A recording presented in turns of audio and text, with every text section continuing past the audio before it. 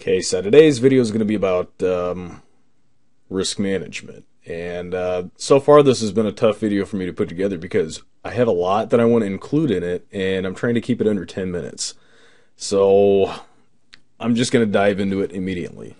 Uh, the basics of risk management have to basically evolve around your account size and a percentage of that account size of what you're putting up to risk. So risk management's very important because then you have a specified loss. So you're not just putting on huge trades like maybe this trade you take a hundred dollar loss. And then you say, okay, the next trade I could actually put up, you know, maybe widen up my stop a little bit more. Maybe I'm not even trading with a stop, but the next trade you put on is like a $500 loss. Then in the future, you get a good trade in. Okay, you make 150 bucks, feel pretty good. You say, now I'm on the right track. And then bam, another loss hits you. And because you didn't really have a fine system put in put together, you're taking these odd losses, which is just kind of kicking you, basically kicking you in the stomach again and again and again. So, um, how do we uh, put together a pretty good system? Well, this is based off the one percent uh, trading rule. So, with the one percent trading rule, it's saying whatever your account size is or whatever money you've set aside for a trade people do it different ways. I base it off of my whole account size, but there's other people out there that say, okay, I'm willing to put up five thousand dollars to trade with. What's one percent of five thousand dollars? It's fifty bucks. Um, or if I have a hundred thousand uh, maybe a fifty thousand dollar account, maybe I'm only putting up ten thousand dollars on trade. So one percent of that, it's a hundred bucks. So that's basically kind of what I put together here, and it starts off. The account size starts off with about nine thousand dollars. You can see it loses and it's in a losing streak. So every time it loses money, I recalculate the account to find out well what's one percent, because uh, I need to have a risk profile set up for this. So another thing is important that you know you have a ratio type system. So a one to one, two to one, or three to one, and basically what's this saying? Well, any of these figures, the risk profile is always going to be the amount of money you're willing to put out in risk. Now, on the second number, which is like first it starts off 1 to 1, 2 to 1, and then 3, that's basically what you're trying to make out of that. So, say, just say theoretically, each one of these. Each one of the trades I'm risking $100 on. The first trade, I'm risking 100 to make 100. Second trade, I'm risking 100 to make 200.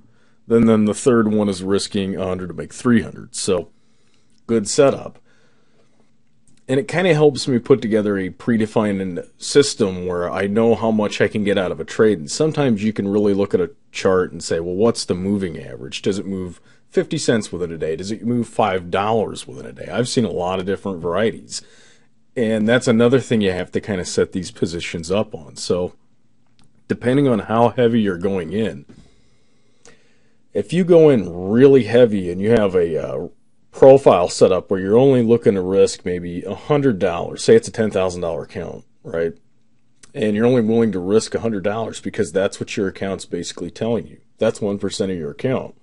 But you're going in really heavy. Maybe you went after a cheap stock and you can get like three, 4,000 shares. So, uh, 4,000 shares, you know, you're making $40 on the penny. So you only have to have it go about two pennies against you and you've already almost hit your mark. So you see the problem with that? It's not really good. I mean, for that, that's why you kind of have to have a a good setup where you're getting the you know you're buying only the right amount of shares according to that security. And then in the idea that if you don't buy a lot of shares, you can open your stop up much more. But it's always evolving around well, what is 1% of my account? So, say, just for an example, I'm looking at a company right now. It trades within a range of two dollars throughout the week. You know, if I if I get out of that range, I'm going to just get stopped out of the trade. So I have to at least l- allow it that much movement. And this is just an example. So my risk tells me that I can only risk 100 bucks. So basically, this is telling me I can only purchase about 50 shares because per dollar movement, if I have 50 shares, I'm making 50 bucks. So if it moves against me a dollar, I'm losing 50 bucks. If it moves $2 against me, well, I'm losing 100 bucks. And usually the way these setups work also is you want to be outside of that range so you don't get stopped out. Maybe you're testing a support. Maybe you're testing a trend line. And you know, basically what all that I guess would look like on a chart, uh, and I'm just going to go ahead and draw this out on this chart. You know, you just kind of have an area of, uh, you know, a trend line, and you're looking for the price movement to pull back, and you're trying to pull uh, buy on the pullbacks. But then you say, not all these are really perfect, and say this one hit the the trend line right on.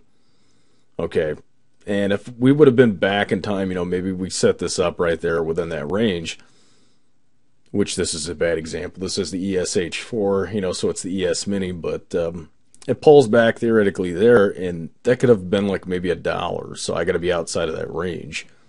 So right there and then, you know, you have to kind of put together how many shares can I really buy.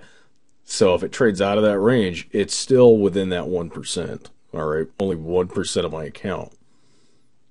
Now, I've seen traders, you know, more aggressive traders risk 5% of their account on a trade. And uh, sometimes they do great. Uh, but once it goes against them, you know, you've risked 5% of your account. So think of it this way when if usually only risk 1% of your account and then you risk 5%, that's like uh, having five losing trades, a five losing streak trade, all in one trade. And, um, you went against your um, risk management. And that's why when people make money in the market, you know, they do good. Maybe they make a couple hundred bucks and then all of a sudden the market takes it back. And it takes it back fairly fast. And it's not to say that the market won't do that. The market can take, if you, depending on what you risk, you will have yourself down the amount of money. You will put yourself down the most amount of money anybody could ever put you down. It's just you. So if you did good and you have a horrible risk management, uh, the market will take back everything it gave you. And that's why I'm making this video. So, thinking about all this, I think one last thing I want to also say is, you know, everybody has a different account size too. And anybody that trades, you know, if you do good, you know, your account size grows, it gets bigger. So that that 1% risk suddenly starts to kind of grow and you can actually risk more on a trade, but you can also afford to get more shares. So here's a good example. Say somebody with a ten thousand dollar account. Didn't we just say earlier? I think it was like what, hundred bucks. One percent of their account is hundred bucks. So the man that has a hundred thousand dollar account has put up a thousand dollars to risk, and that's one percent of his account. Now, some people will divide their account up like into quarters, and then they'll allocate that for basically a trade.